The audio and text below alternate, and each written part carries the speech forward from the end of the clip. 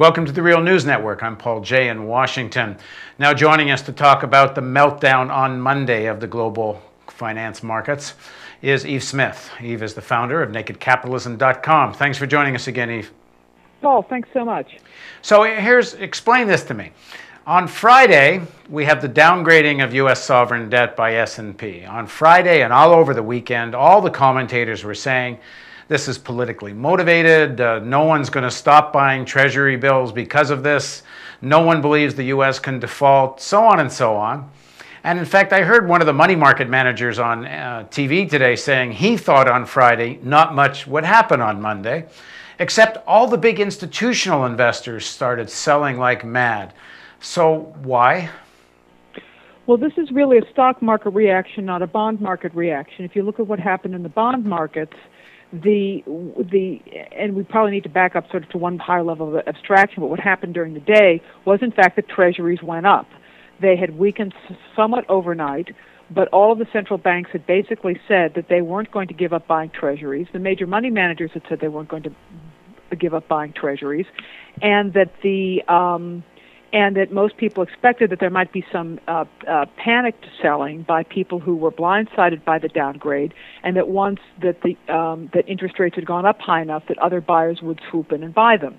Now, what in, what instead happened is that remember everybody in the U.S. is very fixated on what's happening here. The much bigger story, frankly, and what appears to actually be the trigger, even though it's not being reported that way in the popular media, is what's happening in Europe the uh, the Spanish and Italian bonds, um, and those are Italy in particular is too big to save by any standards. Those bonds started widening very significantly on Friday. And that was because the ECB had basically said that it wasn't going to support the debt of those countries. That okay, let just quickly let me just say widening means the interest charged rate, on rate, these rate goes up, which means the prices go down.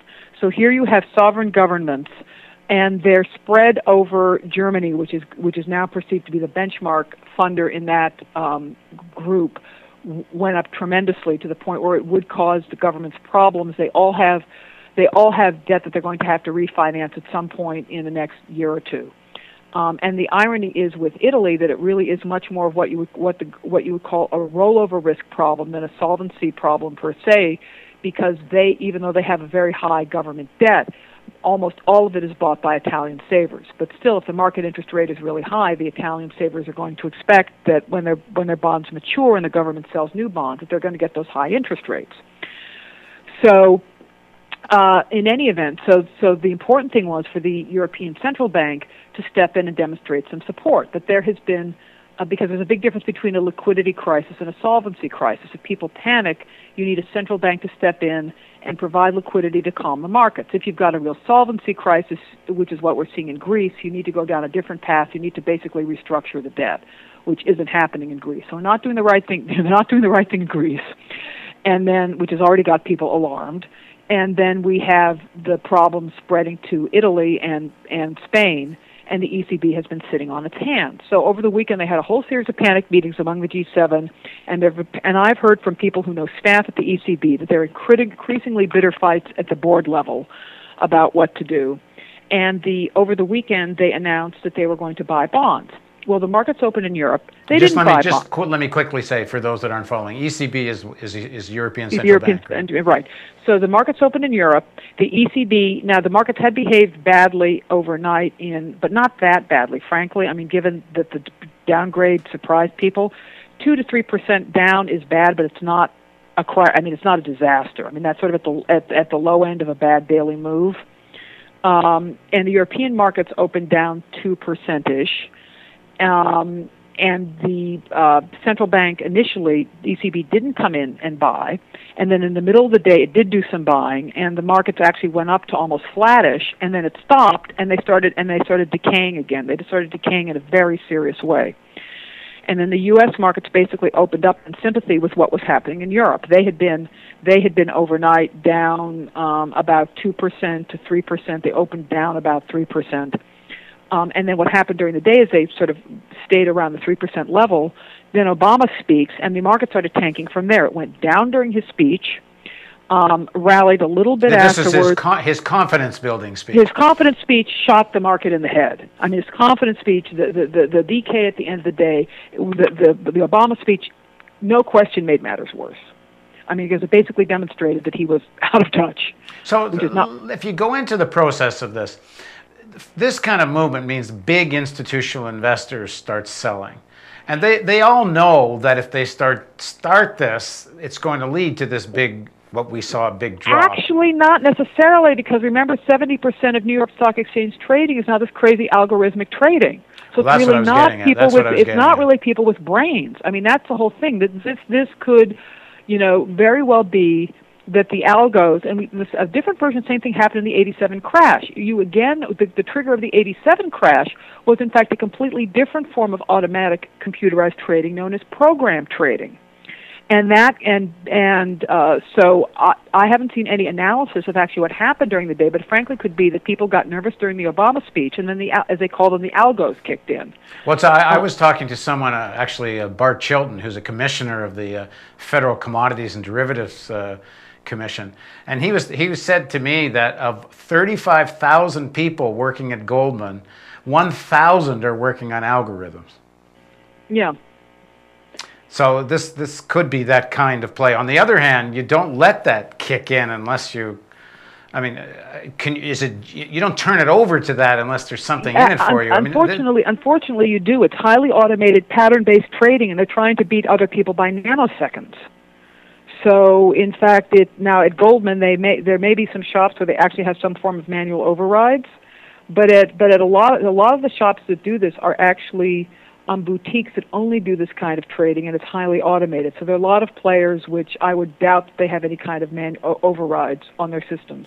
Well, one of the commodities traders I was talking to a few days ago, he says to he, he said to me that part of what goes on in these kinds of enormous drops is the big players don't mind the drops because the small players get wiped out and the big players sitting on cash buy back in. Do you think that's a factor here? Well, no, that is, I mean, I was, you know, I just spoke to somebody who's a, uh, late this afternoon, a, a world leading derivatives expert, Satyajit Das, who's actually based in Australia, and he was saying this is the kind of market traders love. They make a lot of money on volatility. This is a perfect market for for those kind of big, you know, those kind of big, um, aggressive traders. Right. So, uh, uh what do you think should be done? I mean, uh, I, saw on Naked Capitalism, you, you wrote a, a, piece called Obama Does Own This Crisis. So, why do you say that, and what could he have done differently? Well, the big mistake he made was letting this letting the debt ceiling crisis even occur. I mean, because frankly, as you recall, Obama came into office literally before he even uh, the week he took office he was talking about entitlement cuts. This was something he wanted to happen on his watch. Um, and so when the Republicans uh, were, ironically, in in the wake of the Obama victory, the, the Republicans were strategizing on what they could do to gain ground, and they wanted to make something out of the debt ceiling crisis. There's an excellent story in the Washington Post that I'm sure a lot of your readers saw over the weekend on that. Um, Obama played right into that. You know, he had he had routes where he could have circumvented the debt. I mean, he could have first thing could have just called their bluff early on. Yeah, in fact, Jon Stewart had a great clip of an Obama press conference where a journalist uh, over a year ago asked President Obama when they were negotiating the Bush tax cuts whether he was going to follow the advice of those who were saying if you are going to make a deal to extend the tax cuts, you should at least connect it to the debt ceiling and don't allow the debt ceiling to be used against you a year from now. So it wasn't like he wasn't aware of this as a possible strategy. Oh, exactly. And then, and then to top it off, you know, it was discussed numerous places that he had several ways out. You know, one was a, one was a using the Fourteenth Amendment. Um, he backed off from that, claiming that his lawyers advised him he couldn't use that. Well, ironically, one of the lawyers he pro- who acted as a human shield, Laurence Tribe, who's a Harvard constitutional law professor, wrote a very strange New York Times op-ed. It was very peculiarly worded and then Tribe himself has basically subsequently said that, uh, oh, gee, there's no point of entry for anybody to challenge this legally. Right. So in fact, in fact Bill Clinton said he would have used it. Right, and then and then he had other routes that were um, more um, unusual, but were viable. I mean, one of them would be to have the the Feder- to cancel the debt held by the Federal Reserve. That would be controversial, but that was theoretically an option. And the other one was this route, which is called coin seigniorage. It's a very um, unfortunate term of art, but basically the U.S. Mint has the ability to create platinum coins, and they can put any denomination on them they want to. So they could create one little coin, call it a trillion dollar coin, sell it to the Fed. The Fed would have to pay the mint for it, and the profits would be swept into the Treasury. Right. So, um, so now, now that they made the deal, now that the markets have, you know, spiraled, and, and the consequences of this, I guess we we don't know yet. Um, the debt rating is certainly going to affect, if not really the Feds, but it could really affect state borrowing, municipal borrowing, and the ripple effect of this downgrading, which affects everybody's social programs. Uh, what, what, what should people be demanding? What, what, what would be the alternative policy right now? Well, the problem is he's again painted himself in a corner. I, I, I hate to say it, he's left himself with uh, this is why why I said Obama owns this. I mean, if it were somebody other than Obama, they could go to the Republicans and say, you know, we're going to increase spending. Well, he's bought the premise. He's bought and pushed the premise that we need to cut deficits. This is the wrong time to do that. You know, the time you do that is when the economy is good. And since governments tend not to have the discipline to do that, the best way to address uh, problems in times when the economy is weak is through programs like food stamps, programs like unemployment insurance, so that when the economy gets better, those automatically the spending on that automatically falls off. That way, you don't have to worry about government discretion in terms of the spending going down when the economy improves. Um, but he's basically painted himself into a corner. I mean, the only the only thing that the um, government can do at this point really is is uh, action by the Federal Reserve, and that's when interest rates are this low, there are limits to what they can do. I mean, they, they, they can they can possibly stabilize the markets. I say possibly because the with the Tea Party's in charge, I think people are, are less confident in the ability of the Fed to, to stand up and do, do the sort of stuff that it did in the crisis um, once again. So, g- given the reality of the politics, uh, what do you think is going to happen the rest of this week?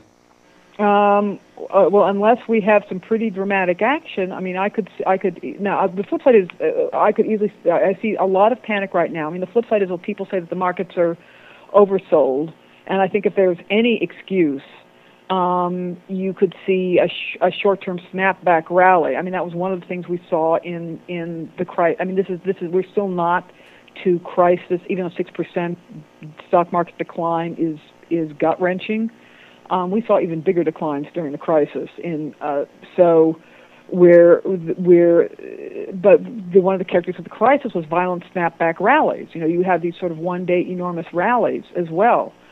So I the one thing that's pretty certain is we're going to have a, a, a wild ride until people start feeling more confident that the officialdom is is in charge and has a plan for doing something intelligent. I mean, even if it's a plan that's sort of long term frankly, isn't very positive. They want to see some demonstration of leadership, and that's what they didn't see when Obama spoke, and that's what they didn't see from the ECB today. I saw a, a guy on TV today, a money market guy.